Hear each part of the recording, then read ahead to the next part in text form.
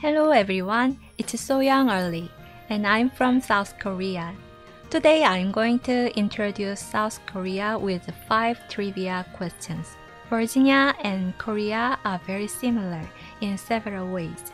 After watching this, you would feel at home in a faraway country. Let's get started.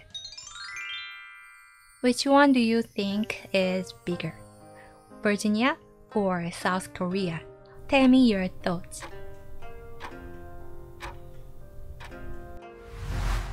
Virginia is approximately 43,000 square miles, while South Korea is approximately 39,000 square miles.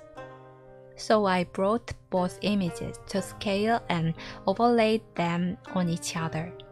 They are around the same. Which one do you think has more people? Do you think Virginia and South Korea have the same population? Or does one have more than the other? Let's take it out together. According to the latest demographics, Virginia's estimated population is approximately 8 million, and South Korea's is approximately 51.8 million. So South Korea has more than 6 times as many people. On the map, here is Seoul, the capital of South Korea, and this yellow circle indicates the Seoul metropolitan area. Interestingly, half of the population lives in the metropolitan area, so Seoul is a very big and busy city. What kind of climate do you think South Korea has?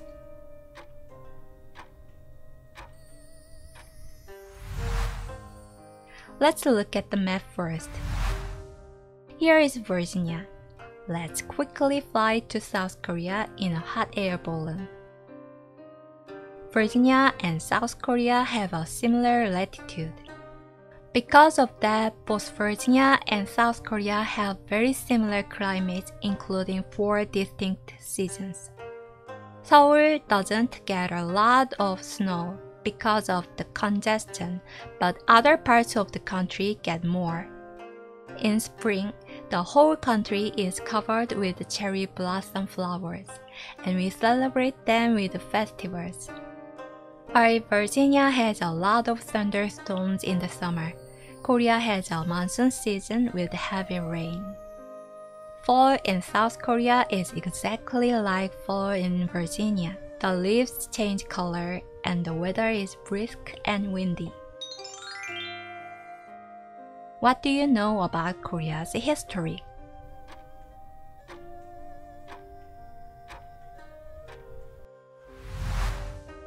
Korea first began as Gojoseon by legendary founder and god king Dangun in 2333 BCE.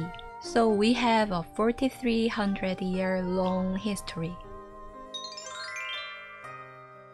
What does the national flag of South Korea look like?